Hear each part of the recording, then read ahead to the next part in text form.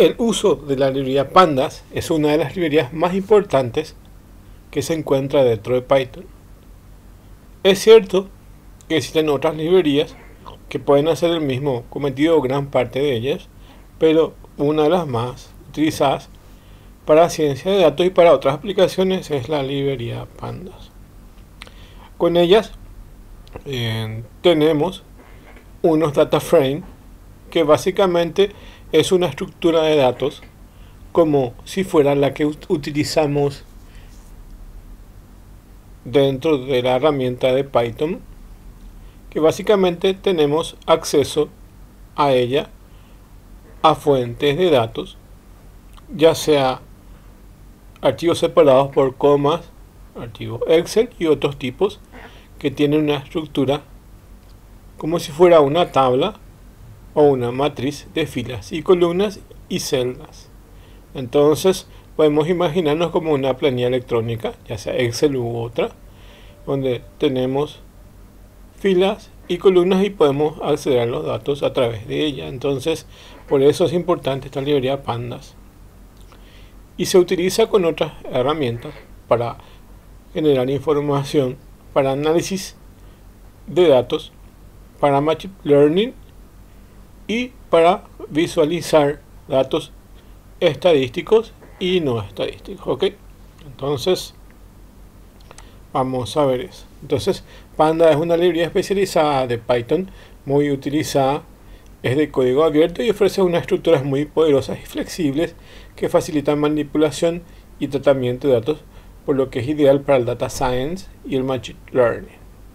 Panda surgió como necesidad de aunar en una única librería todo lo necesario para que un analista de datos pudiese tener en una misma herramienta todas las funciones o todas las funcionalidades que necesitaba en el día a día como ser cargar datos, modelar los datos, analizar, manipular y prepararlos. Entonces, básicamente pueden acceder a fuentes de datos, de ahí estructurar eso, hacer limpiezas de datos esa limpieza de datos está relacionada como por ejemplo el, eliminar duplicados,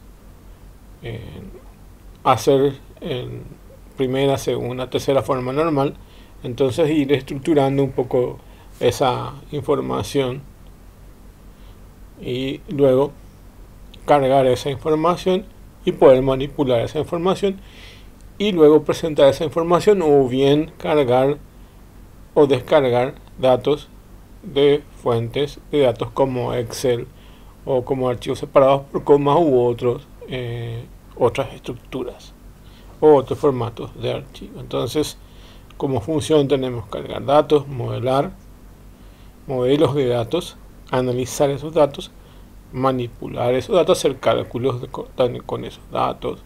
Así como si fuera que estamos trabajando en una planilla Excel podemos programar y poder trabajar con ellos y preparar esa información.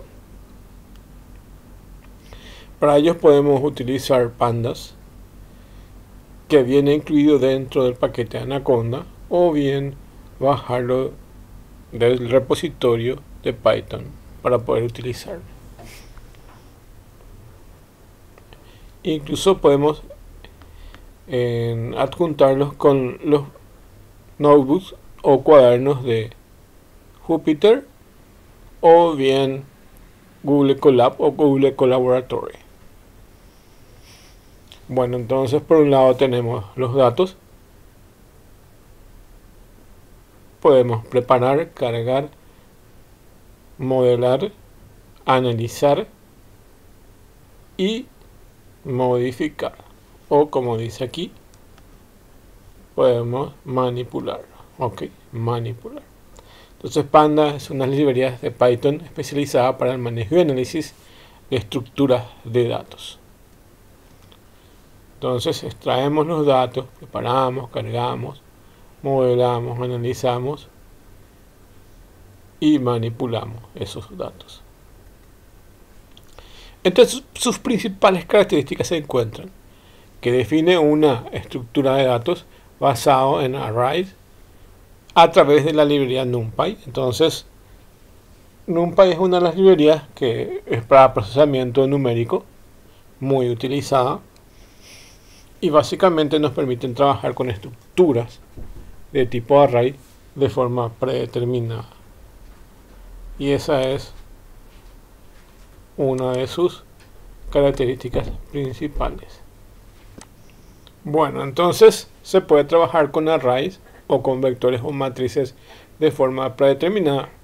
Imagínense ustedes lo que es recorrer en, un ciclo anidado con dos ciclos desde un dos ciclos for y ir manipulando cada dato. Es bastante lento ese proceso. Para ello se utiliza la librería de NumPy que evidentemente mueve bloques de datos de una forma bastante rápida. Entonces puede mover todo un bloque asignando a esas variables. Entonces directamente con una asignación se mueve todo un bloque. Eso es bastante interesante. Una herramienta precursora de, ese estilo de trabajo es el MATLAB, que básicamente todas sus variables eh, son arrays. Entonces el movimiento de, de, asignación entre variables evidentemente está moviendo todo un conjunto de datos. Entonces Bajo ese mismo esquema, NumPy también hace ese mismo trabajo. Entonces, define nuevas estructuras de datos basados en arrays de la librería NumPy, pero con nuevas funcionalidades. Entonces, aquí agrega nuevas funcionalidades para el manejo de datos. Permite leer y escribir fácilmente ficheros de formato CSV, que es un archivo separado por comas Excel o bases de datos SQL. Entonces, es una potente herramienta que se utiliza para trabajar con, con base de datos y con otros formatos de archivos específicamente así como existe el Power BI o eh, básicamente otra herramienta es el Tableau el Tableau. Entonces tiene esa misma capacidad pero a través de Python. Y estas herramientas se pueden enriquecer con las cosas que Python pueden hacer y las otras no pueden hacer. Y, otro lenguaje también parecido es el R, pero la mejor herramienta es Python porque es de uso más generalizado. Entonces, ETL significa todo ese proceso de poder trabajar y manipular datos y extraer y darle formatos a esos datos. Entonces, es extraer información manipular y transferir esa información. Entonces permite leer y escribir fácilmente ficheros en formatos CSV, Excel y base de datos. Permite acceder a los datos mediante índices, nombres de filas y columnas. ¿ok? Entonces imagínense que están trabajando en Excel o en otra herramienta. Permiten manipular tanto índices como sus filas y columnas. Ofrece métodos para reordenar, dividir, combinar conjunto de datos. Es muy adecuado para el tratamiento de información. Permite trabajar con series temporales. Realiza todas estas operaciones de una manera muy rápida y eficiente. Como les dije, eh, si no quieren usar pandas, hay otras librerías pero la, más cómoda es Panda. Que tienen todo ahí y es un formato estándar bastante fácil de utilizar.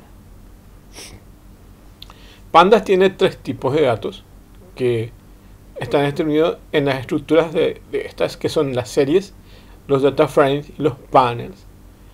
Las series son una estructura de una sola dimensión.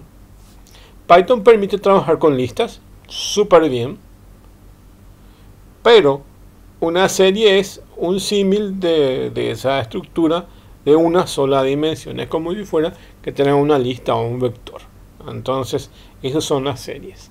Esas series se combinan en otra estructura llamada data frame, que es una estructura de dos dimensiones que es una tabla. Entonces, imagínense que ustedes pueden tener, por ejemplo, unas columnas y imagínense en una tabla de alumnos. Un alumno tiene, eh, tiene matrícula, tiene número de cédula, tiene su nombre,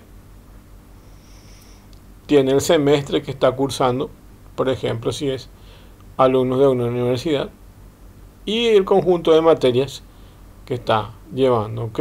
O un montón de informaciones adicionales a esos estructurados, eh, ya sea en formato relacional o no.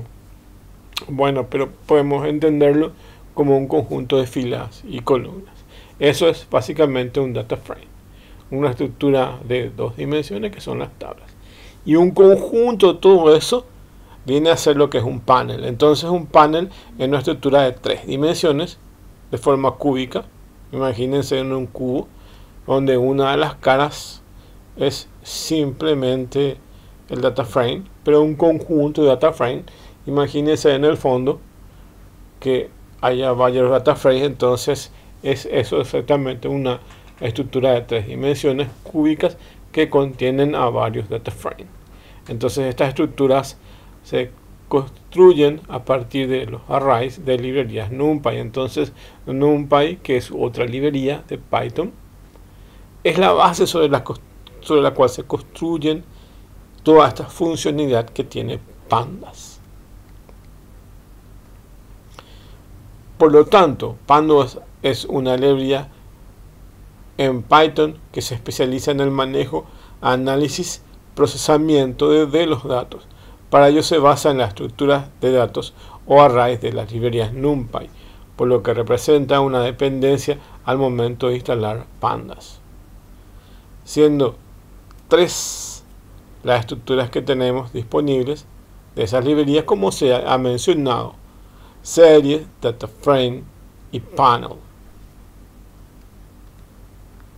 Bueno, con respecto a las series, básicamente imagínense como una lista o array. De hecho, es, las series son una modificación sutil de lo que son las listas en Python. Pero para nosotros, para entender mejor ese tipo de arrays, no los asociamos directamente si manejamos otros lenguajes con el término de vectores. Pero se relaciona más con el término de listas. Entonces, es, ¿qué son las series? Es un array unidimensional, unidimensional unidimensional etiquetado, capaz de almacenar cualquier tipo de datos. Son estructuras similares a los arrays de, de una sola dimensión, son homogéneas, es decir, sus elementos tienen que ser del mismo tipo y su tamaño es inmutable. Es decir, que si ustedes definen que va a tener 10 elementos, solamente puede tener 10 elementos y sus elementos son homogéneos. Entonces, si decimos que solo van a ser o contener caracteres, evidentemente, cada elemento de esta serie debe ser de tipo carácter. Por decirlo así, todos tienen que ser del mismo tipo. Y su tamaño es inmutable, es decir, no puede cambiar, aunque sí su contenido. Entonces, solo su contenido puede cambiar, pero no su estructura en sí, ni el tipo de datos que utiliza. Es decir, no puede cambiar, aunque sí su contenido dispone de un índice que está asociado a cada nombre del elemento de la serie a través de la cual se accede al elemento. Entonces, aparte de, estos índices, podemos acceder a estos valores de los meses. ¿ok? Si esto fuera, por ejemplo, una serie de meses, y aquí tienen todos los meses a los cuales pueden acceder a través de su índice. El otro elemento eh, constitutivos son los data frames y los data frames definen un conjunto de datos de estructura de forma de tablas donde cada columna es un objeto de esa, de esa serie. Entonces aquí tenemos una serie aquí tenemos otra serie y así sucesivamente. Tenemos una estructura de filas y una estructura de columnas. Entonces podemos nombrar a cada fila y podemos también nombrar a cada columna. Bueno, entonces este conjunto de datos es el más utilizado en, pandas, que son los data frame. Entonces, cuando ustedes trabajan y ya ven que van a trabajar con data frame, entonces ya saben que es parte de la librería de pandas. Y define un conjunto de datos estructurados de forma de tablas, donde cada columna es un objeto de ese de esa tipo de serie. Es decir, todos los datos de una misma columna son del mismo tipo. Y las filas son registros que pueden contener datos de distintos tipos. Un data frame contiene dos índices, uno para las filas y otro para las columnas. Entonces pueden acceder a través de esos dos índices, filas y columnas, y pueden acceder a sus elementos mediante los nombres de las filas y las columnas. ¿ok? Entonces pueden acceder a través del nombre, edad, grado, correo y a través de cada una de las filas. Entonces aquí, para acceder a las columnas, podemos decir la columna nombre, la columna edad, la columna grado, la columna correo. Y para cada fila sería fila 1, fila 2, fila 3, fila 4. Entonces, a través de estos nombres podemos acceder a, esta estructura data frame o a cada elemento particular que necesitamos. Por ejemplo, la tercera fila eh, corresponde al nombre de Carmen, edad 20 y arquitectura, que es el grado que, tiene esta persona y su correo. ¿okay? Si queremos acceder a esto, entonces podemos acceder a través de la fila 3 y eh, la columna de grado. Entonces, así accedemos a este elemento o el valor que tiene el data frame. Por lo que básicamente podemos decir que el data frame es una estructura bidimensional con columnas que pueden ser también de cualquier tipo, que es una de las ventajas. ¿Cuál era una de las restricciones que tiene las series. Las series básicamente todos sus elementos tienen que ser del mismo tipo. Ok, pero el data frame, como pueden darse cuenta, no tiene esa restricción. Entonces, es una estructura bidimensional con columnas que pueden ser de cualquier tipo. Columnas que pueden ser de cualquier tipo. Este puede ser numérico, esta columna, y esta puede ser numérica, y esta otra puede ser alfabética o alfanumérica, o contener otro tipo de datos. Entonces, eh, pueden ser de cualquier tipo. Estas columnas son a su vez series. Entonces, estas columnas que ven aquí son series también. Entonces, esta serie denomina apples y esta orange constituyendo un data frame que corresponde a los apples y a las orange. Entonces se pueden acceder a través de sus columnas y a través de sus filas. Y esta es una serie, esta es otra. Entonces es una combinación de series el data frame de filas y columnas. Bueno, y llegamos a la parte principal, que, es el que aglutina y lo denominamos panel. Entonces es una estructura tridimensional como un cubo, como ven aquí, donde una de las caras corresponde a un data frame y así sucesivamente las otras que continúan. Entonces, en una estructura tridimensional, como la de un cubo, como un cubo, es un contenedor, evidentemente, de data frame, que es un array de tres dimensiones, también siendo una estructura dinámica. Entonces, los data frame y los panels pueden crecer, no así las series que son estáticas, ¿ok? Para que puedan diferenciar eso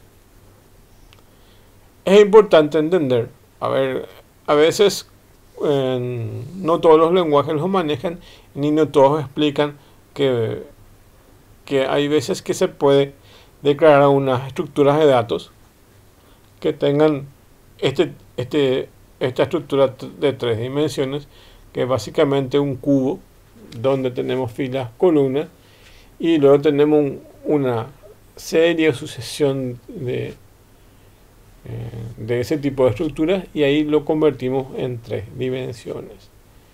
Ok, entonces no es la primera vez. De hecho, hay lenguajes que sí lo permiten y otros que no. En este caso es una estructura de tipo de datos que nos permite trabajar en forma de tres dimensiones con los paneles, que son conjuntos de data frames. O, o como dice su nombre, que es un contenedor de data frame. en una estructura de tres dimensiones y puede ser dinámica.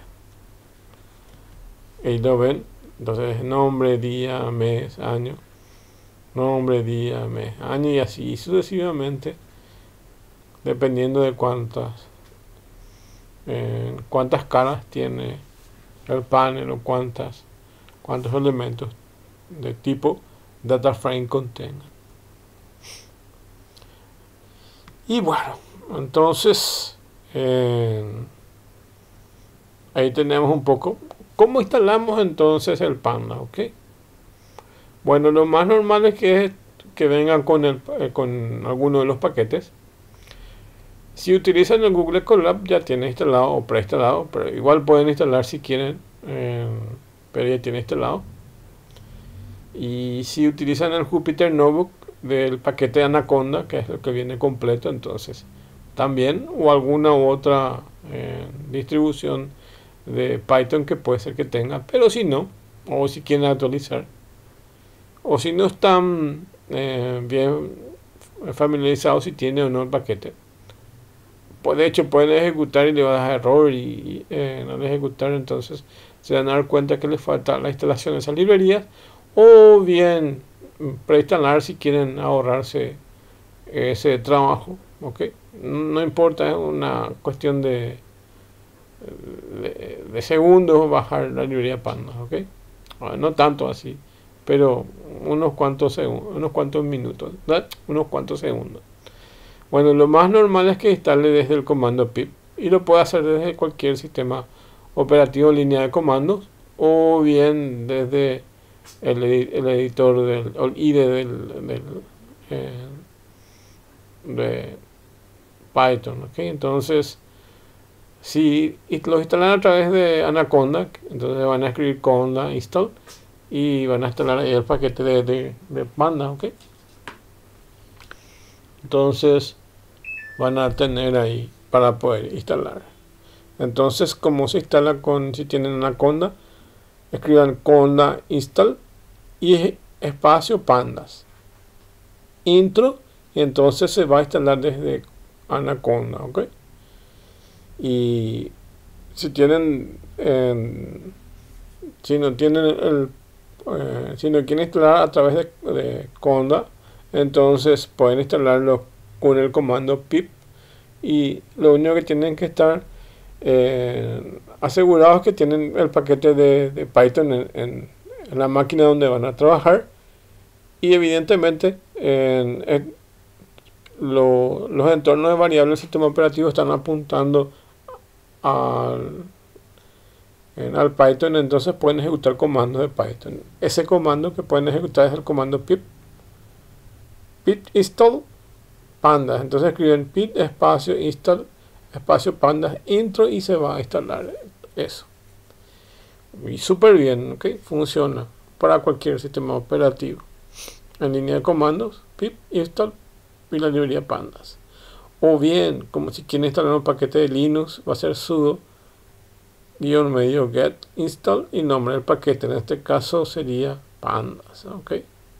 O, o bien algún eh, o algunas de las versiones, eh, algunas de las versiones de Python. Y algunas distribuciones tipo CentOS o Red Hat o los que vienen de esa línea, entonces se instala mediante el comando yum yum install y nombre del paquete. Entonces, Python por defecto trabaja con listas. Entonces, para entender bien estos conceptos, vamos a ver más o menos esas características que tienen que ver con, el uso de, de, las listas. ¿ok? Entonces, vamos a revisar eso muy rápidamente. Entonces, las listas en Python eh, no requieren el uso de librerías porque evidentemente ya son parte del mismo lenguaje. Es un poco... Eh, a ver, dentro de la materia se puede explicar un poco que hay lenguajes que eh, manejan listas. Una de ellas es el, el, programa eh, List. List maneja listas, entonces pueden trabajar con ellas. Y evidentemente Python también trabaja con listas. Serían como vectores, más o menos. Ese es el símil. Entonces las listas en Python son un tipo de contenedor compuesto que se usan para almacenar conjuntos de elementos relacionados del mismo tipo o de tipo distinto. Esto es lo que varía un poco con respecto a las series que tiene pandas. Las listas pueden eh, ser del mismo tipo o no. Y a través de eso se pueden juntar en, clases que son tuples, Wrangler y SRT, que son eh, de los tipos de secuencias de Python. En lo particular son mutables. Este último quiere decir que su contenido puede ser eh, modificado después de haber sido creado. Para crear las listas en Python simplemente hay que encerrar una secuencia de elementos separados por coma entre paréntesis eh, como muestra acá en el gráfico entonces esto es una lista y aquí em, abren y cierran el corchete y colocan los datos separados por coma entonces así se genera una lista bueno y después en esta lista pueden eh, contener elementos de diferentes tipos, como ven acá, números, caracteres, valores con coma flotante, de lo que sea. Entonces pueden componerse, además de eso, pueden hacer una estructura jerárquica, como ven aquí. Entonces tienen los, elementos, además, los elementos de una, de una lista pueden ser de a otra lista. Entonces ya genera una estructura tipo árbol aquí dentro de esta lista. Entonces las listas también pueden ser creadas a través de constructores de clase, que es la palabra list, y eh, de ahí pueden crear eso. Entonces aquí, mm, directamente aquí, escriben list y lo ven como tiene esta forma y acá ya generan esta lista que es esta que está acá hay varias formas de crear eso. Entonces, tienen ahí. Ok. También pueden crear listas vacías, que son listas que no tienen elementos originalmente, y luego se puede ir cargando esos valores. Entonces, para acceder es mediante un índice al cual se puede acceder. Entonces, lista y el elemento sería 3 y ahí accedemos al valor que es y entonces así como en los lenguajes empiezan con el índice 0 lo que son de tendencia al lenguaje C aquí también 0 1 2 3 entonces funcionan de esa forma bueno.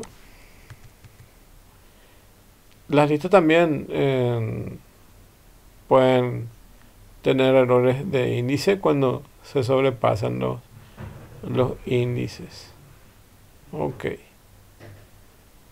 Entonces las listas también pueden contener otros elementos de tipo secuencia de forma anidada. Entonces, como ya vimos aquí, se hace una estructura tipo árbol de eso.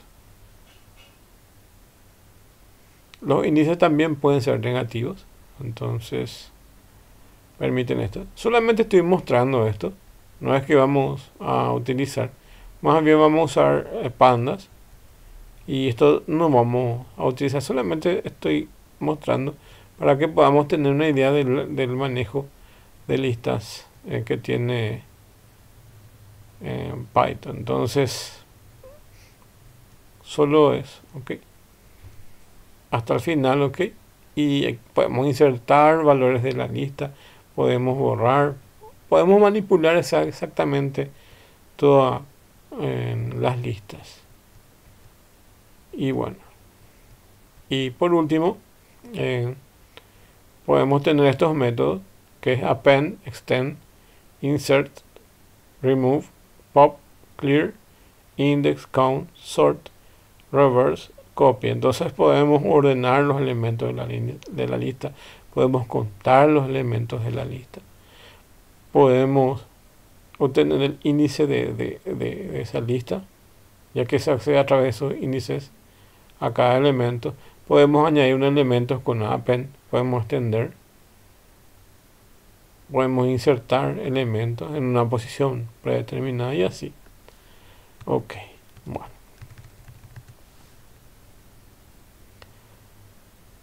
Por último voy a mostrar un ejemplo.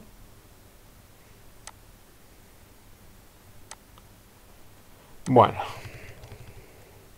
en este ejemplo que vemos aquí, básicamente vamos a importar la librería pandas y le vamos a denominar eh, mediante un alias que lo denominamos pd. Luego vamos a importar la librería matplotlib que es una herramienta que nos permite eh, mostrar los elementos de forma gráfica. Su nombre ya es bastante entendible en el sentido de que puede manipular directamente eh, los gráficos matplotlib. Bueno, y aquí entramos con la parte de, trabajar exactamente con, con esta librería de pandas, que es crear el data frame de clientes. Entonces vamos a tener unos datos de clientes. Vamos a tener eh, las columnas que son ID, nombre, dirección y importe de compra.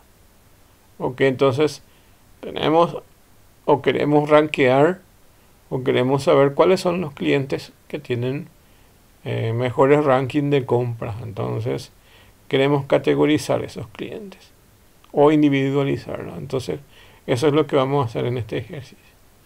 Y bueno, tenemos los códigos de los clientes, tenemos sus nombres, tenemos sus direcciones y tenemos el importe de esas compras. ¿ok? Bueno, y aquí tienen cliente A y cliente B, cliente C, cliente de aquí pueden agregar cualquier nombre. Dirección 1, dirección 2. Solo tienen que saber que tienen que separar por comas y se forma como una lista. Por eso es lo que quería mencionar, el tema de la lista. Entonces, para definir básicamente un data frame, vamos a tener su identificador, que en este caso es este que está acá. Ponen dos puntos y como una lista van listando en los elementos que tiene.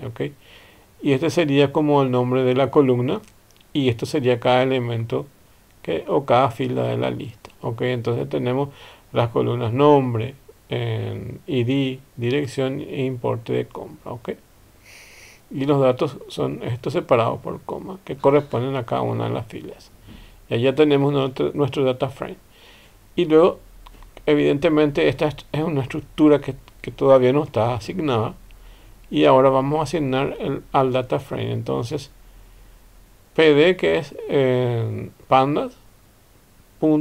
frame y le pasamos a esta estructura y él ahí crea esa estructura de, eh, del data frame. Aquí crea el data frame.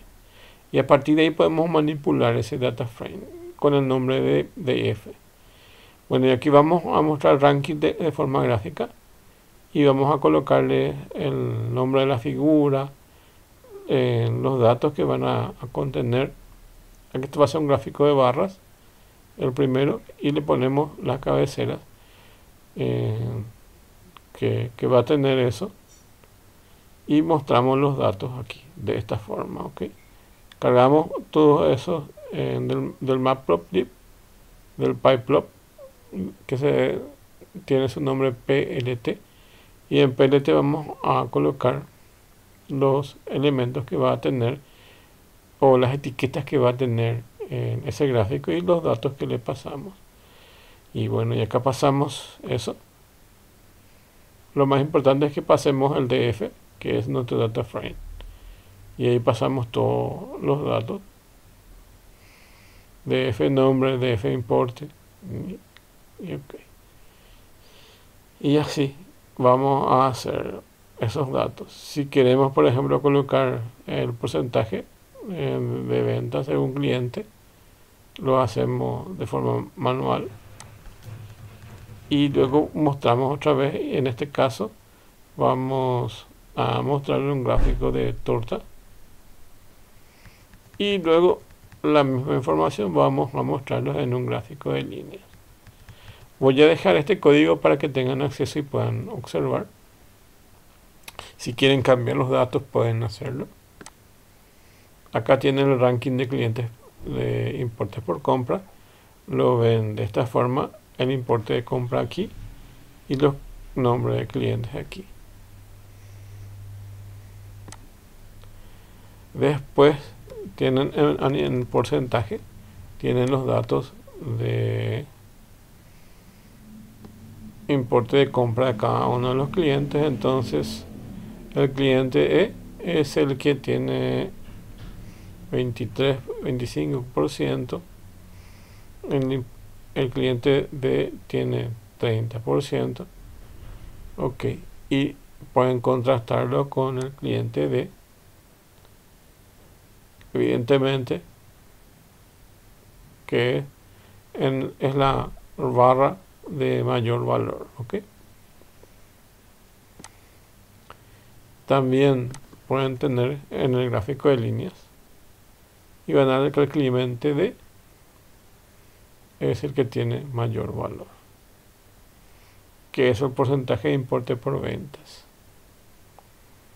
y bueno ahí les voy a compartir este este, este gráfico para que tengan.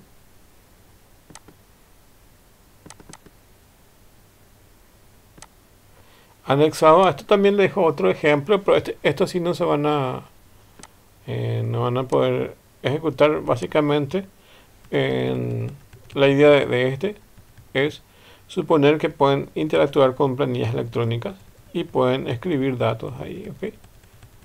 En este caso, vamos a crear un data frame de la misma estructura que tenemos y vamos a crear data frame aquí, creamos data frame como ya vimos y podemos guardar esos datos en un Excel.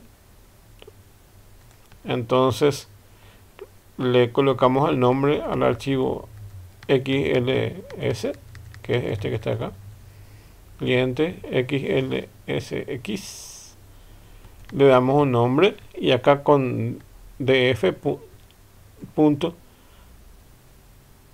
tu guion bajo excel le dan el nombre y el índice false. Entonces ahí van a crear que van a crear van a crear un archivo en excel con los datos que están en el data frame y vamos a hacer lo mismo pero con archivos separados por coma CSV. Entonces, este va a ser el nombre del archivo. Y aquí vamos a cargar los datos que están supuestamente en ese archivo de tipo CSV. Y eh, sería lower guion eh, bajo df punto to guion bajo csv y le pasamos el nombre del archivo que es clientes CSV aquí y el índice false. Ok. Y ahí yo estoy extrayendo información de ese archivo. Entonces, por un lado puedo cargar información y por otro lado puedo extraer. Lo puedo hacer de diferentes formatos como lo que ya vimos en el, en el PowerPoint, como puede ser de base de datos, de archivos separados por comas o de, de estructuras tipo planilla electrónica como Excel, por ejemplo. Y ahí podemos manipular esa información ok entonces ahí tenemos todo eso. Voy a compartir eso para que puedan tener acceso en la plataforma y vamos a tener acceso a eso. Ok. Bueno entonces les dejo esto dentro de la plataforma para que puedan entrar y revisar. Y esta parte lo pueden ejecutar. Entonces hagan clic aquí y van a ejecutar el contenido de la celda. Y se va a generar esto que, están viendo aquí. Pueden observar de forma detenida y van a tener esto está bien explicado que hace en cada proceso. Lo más importante es crear esta estructura tipo data o otro nombre que le quieran dar y luego asignar al, data frame y pd.dataframe y ahí creamos nuestro data frame y le asignamos a esta variable que se llama df y ahí podemos manipular o, o cambiar los datos o visualizar esa información